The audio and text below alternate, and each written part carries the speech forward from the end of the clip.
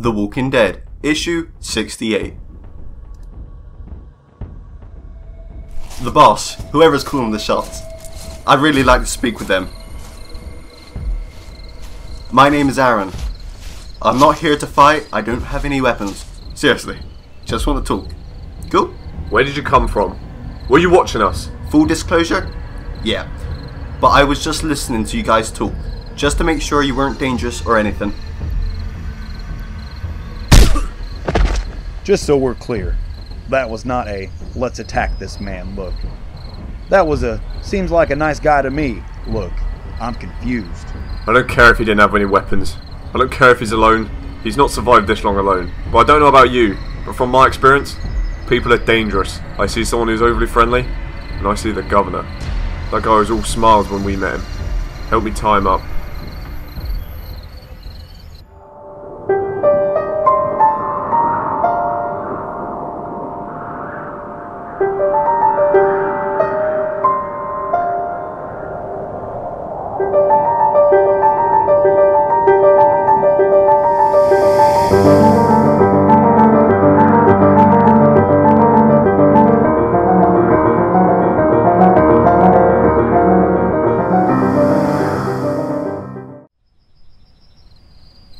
Waking up. Guess that makes you the leader then. Can I get your name?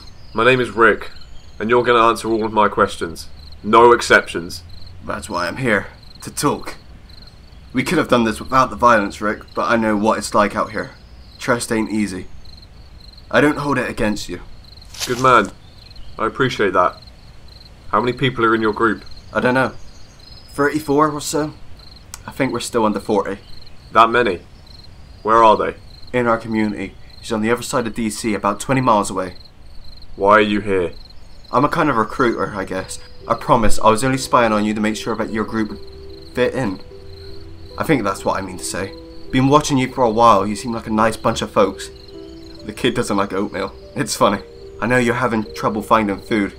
That's common around here. We've pretty much exhausted all the supplies in this area. We have stockpiles of food. We have security walls. We have room for all of you. I promise you, our community is everything you've been looking for. I'm here to invite you to audition for membership. You've got a safe, secure place to live, and you're just travelling around inviting people in. What's in it for you? There's a lot of work to be done to maintain what we have. We need you as much as you need us. I'm sure that each and every one of you comes with a skill set and a level of expertise that will enrich our community. It's a whole thing. Shit! Everyone okay? You kids need to be more careful. These things shouldn't be able to sneak up on us. Andrea's right, Carl. You need to be more careful. Look! Everyone in the truck. We're getting out of here. There's no telling how many more of them are in the woods. Hurry! Wait, you heard your dad. Now come on. You should get in the truck. I can protect myself. Don't worry about me. You got a plan? Let's make sure we're not dealing with only 10 roamers. I don't want to flip out and drive in the wrong direction. Help! Help! Untie me, goddammit! Hold on! Don't let them close to the truck! You better not be a bad guy.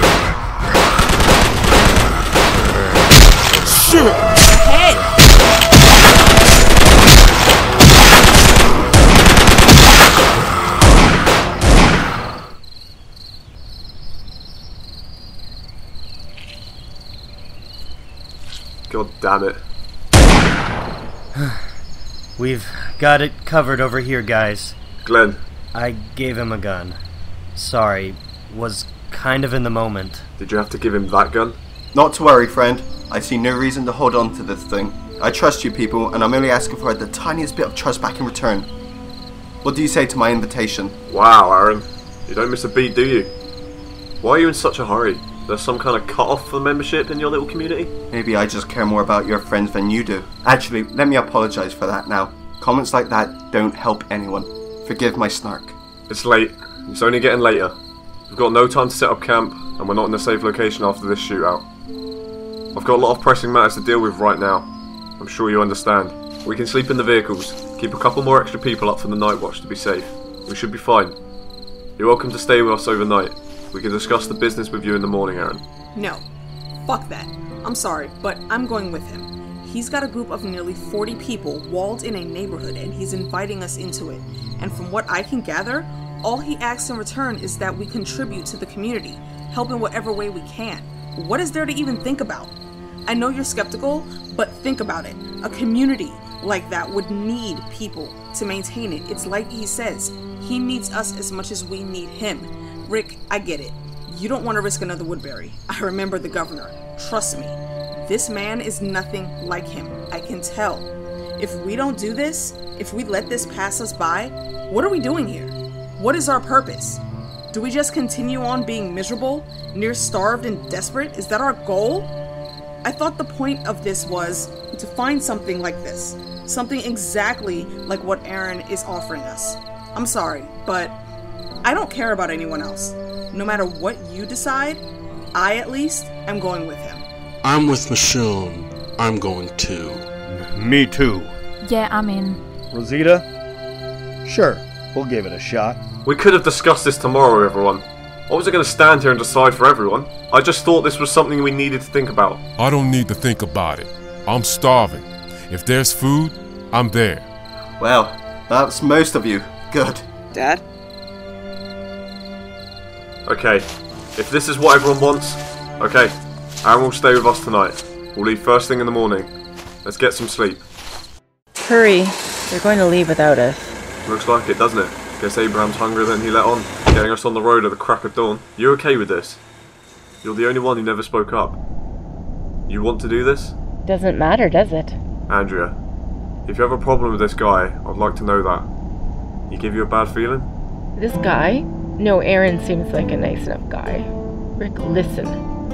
When Amy and I were living in the RV with Dale before you even made it to the camp, I realized my parents were probably dead. That was hard. Then, I lost Amy.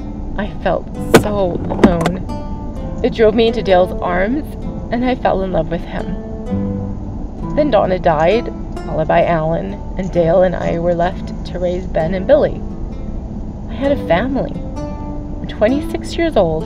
Over the course of a year, I inherited a family. I grew up. I loved the woman I became and the life I had. And now, it's all gone. I'm all alone. And all I can think about is how I'm that girl again. The girl I was, the one I didn't like. All I have left is you, all of you. You're the only things left to remind me of what I can be. The only things keeping me from being truly alone. I'd follow you people straight into hell. Let's hope that's not what you're doing. What the hell? Why are we stopping so soon? What is. Oh, shit. Hands up! Any sudden moves, and I put one in your brain, stranger. Tell everyone to come out of the woods now or you die! Stop! No! He's alone. He's with me. Are you insane? You couldn't tell us about him before? Any more surprises, Aaron? Rick, we talked about trust. It's not easy to come by out here. This is my partner, Eric. He's my insurance policy. I didn't tell you about him because he's supposed to kill you and save me if you turn out to be bad people. You knocked me out, I let it slide. I only asked for the same consideration here. One more person steps out of those woods, and I'm killing everyone. Think you might tell us now if anyone else is coming out? I promise this is it. We're a two man operation. We move faster that way. We usually spot groups from high ground and follow them around. We observe as long as we can, depending on how fast the group is moving. That dictates how fast we have to make a decision on making contact or not. There's no one else out here. We listened to you. I decided that you were worth talking to. I always go in alone to appear less threatening. How long were you spying on us? How did we never notice you? We didn't have to get very close. Sound quality is not perfect, but this thing can pick up a conversation from a hundred yards away. Load all your weapons and supplies into the back of our van. You get them back when we arrive at your perfect camp. Safely. Deal? Deal. I know what this is like. I know how uncertain you must feel, but I promise you won't regret this. You will eventually learn. You can trust me. I would love for nothing else than that to be true. Everybody pile in. Let's move. Aaron, Yeah, next time, no more overnighters, okay? My nerves can't take it. it had to be done, Eric. It was hard to get these people to trust me. Rushing them out in the middle of the night would not have worked. These people are great. They're tough as nails, but good at heart. We need these people. Abraham, stop. I trust this guy, and that scares me to death. I don't know if we're doing the right thing here. You've got a read on him. Before Eugene, I used to think I was pretty good at spotting a liar. Seems like he's on the level, but really, how can you ever tell?